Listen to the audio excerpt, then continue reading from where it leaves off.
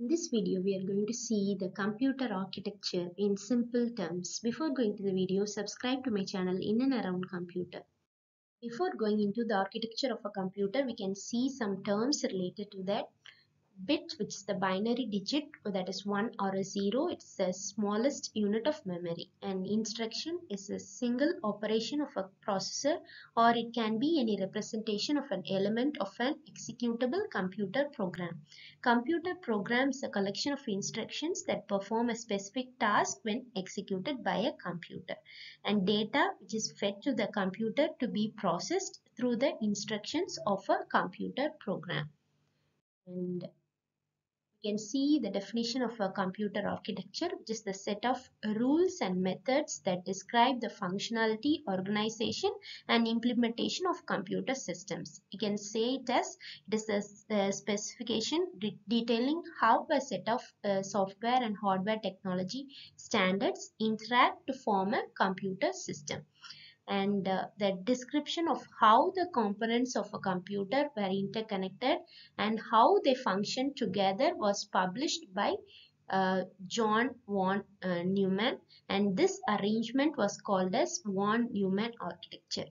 So this architecture is the basis of most general purpose computers which are used today. So this is the uh, von Neumann architecture which has the uh, control central processing unit which has the control unit arithmetic logical unit and registers and the um, and then it's the memory unit and input and output device. You can see how these are interconnected so first we can see the main component which is the central processing unit which is responsible for executing the instructions of a computer program referred to as the processor and this contains three major parts that is uh, ALU that is arithmetic logic units that carry out basic mathematical operations and control unit that tells the computer's memory arithmetic logical unit input and output devices how to respond to instructions that have been sent to the processor.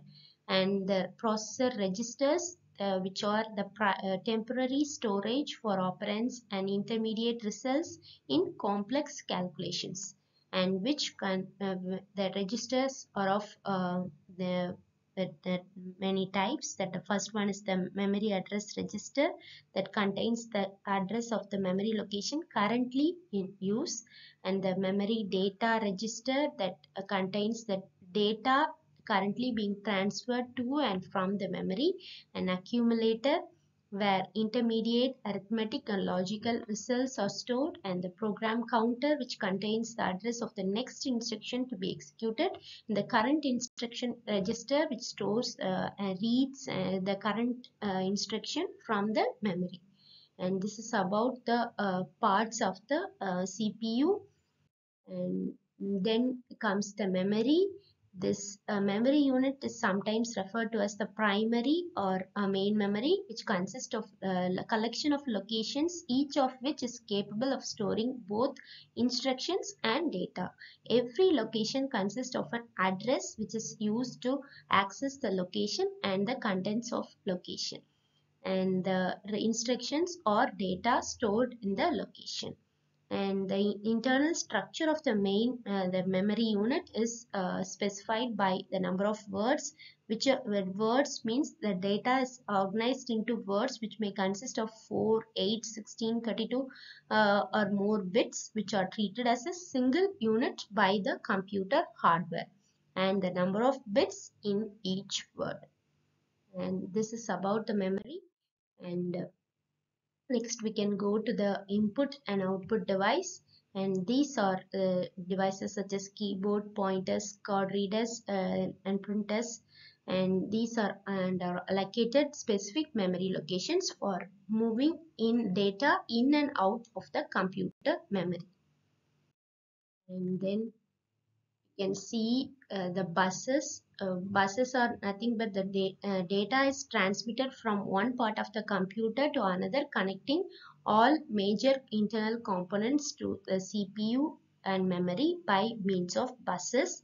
So it is the connect uh, connection component. So which connects the various parts of the computer and these are known as buses. They are, uh, they are of three types one is the data bus it carries data among the mem memory units the IO devices and the processor and the address bus which contain carries the address of the data and um, between memory and the processor so the control bus, this uh, carries control commands from the CPU and status signals from other devices in order to control and coordinate all activities within the computer. And enhancements, coming to the enhancements, that is various enhancements to this or basic or architectural idea memory and instruction execution have led to tremendous improvements in the performance of computer system. But this von Neumann architecture is the uh, uh, basis for all the architecture and the future architectures will continue to be based on this uh, architecture proposed by von Neumann but various enhancements are done so the study of uh, computer architecture has three main subcategories. First one is the instruction set architecture. Now, uh, till this time, we have seen the uh, basic von Neumann architecture and uh, going deep into the architecture, there comes three main subcategories of the architecture. First one is the instruction set architecture which is responsible for defining the set of instructions to be supported by the processor. The next one is the microarchitecture which is the description of electrical circuitry of a computer which is the uh, central processing unit. And next one is the system design is the process of defining the architecture modules interfaces and data for a system to satisfy specified requirements this also includes a DMA that is direct memory access and other issues such as virtualization, multiprocessing and software features. In this video, we are not going to see about the microarchitecture and the system design. We are only going to see what is an instruction set architecture. Computer is just a bunch of silicon and metal stuck together which is the hardware. It is the software that really makes the computer to interact with us. So it is the software that makes the computer to interact with this. So the software must have some way to talk to the hardware to process the input. This is where this instruction set architecture comes in. So when a computer uh, uh, software program is written, it is written in a manner that is easy for the humans to understand. understand. So it is necessary to translate the programs into a language that the computer can understand. So uh, this is what is uh, done by this uh, instruction set architecture.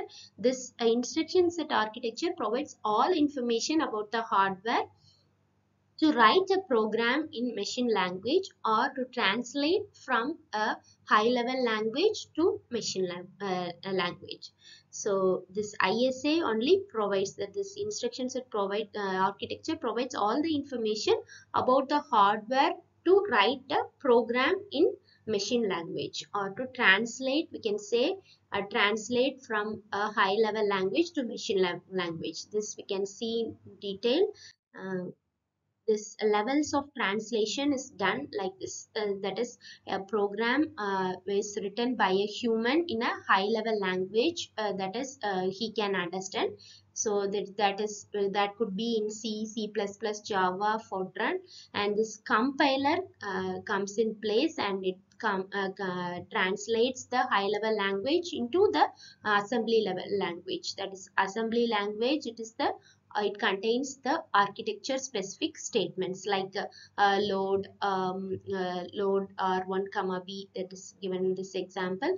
And uh, the high level language uh, this is the language that humans can understand. So this is converted into this assembly level language. Then the assembler converts this um, assembly code into the machine code that is uh, nothing but the zeros and ones. That is the architecture specific bit patterns. So this we can clearly understand how, where the instruction set architecture comes in place. First, we, we are writing a program in C. The compiler converts this uh, high level language into assembly level language. The assembler in turn, convert, in turn converts the assembly code in the, uh, into uh, zeros and ones. So this instruction set architecture defines how an assembler, uh, uh, assembly code should be converted to uh, zeros and ones uh, by the assembler. In what way it should convert uh, so that the particular hardware uh, understood understands the uh, zeros and ones sequence that is determined by this instruction set architecture. Since this instruction set architecture uh, defines the specifications of the particular hardware so this uh, is the detailed uh, diagram of this uh, instruction set architecture where it comes in place and this and can explain further that is it is the ISA is responsible for de defining the set of instructions to be supported by the processor. This the instruction set specifies the processor's functionality. So what operations it supports, uh, what storage mechanisms it has and how are they accessed, how the programmer or compiler can communicate programs to the uh, processor, this and all are specified in the instruction set. Uh, instruction set. So the instruction set also uh, has all that has to be visible for the software. So mem it, uh, the instruction set has the memory organization specifications for the memory organizations that is uh, address space. How many uh, locations can be addressed? Uh, sorry, it is written may, many, uh, that is many. Addressability, how many bits per location and register set which is the place to store a collection of bits and how many registers are there in this particular hardware and what uh, what is the size of that and how are they used.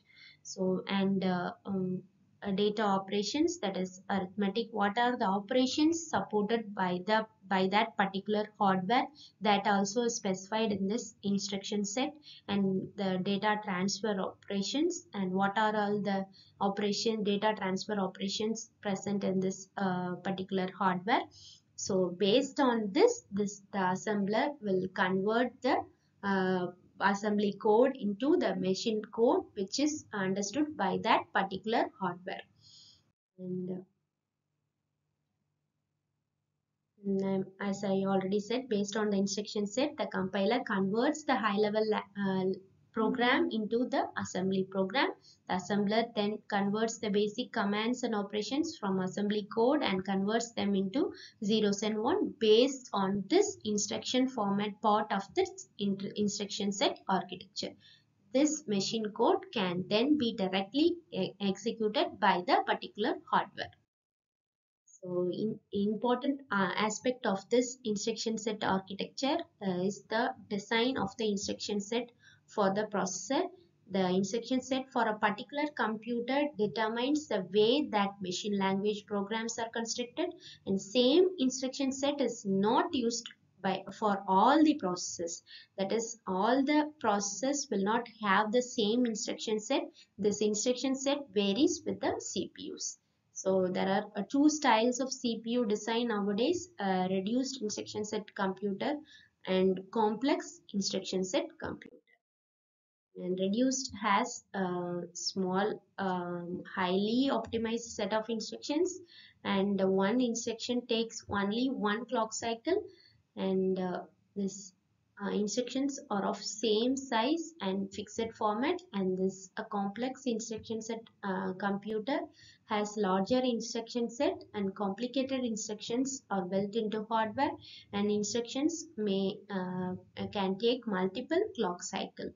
And instructions are of variable length and has instructions are of uh, in variable length. So hope you understood the all the concepts based on this uh, instruction set architecture. Subscribe to my channel if you feel contented. Like and share my videos with your friends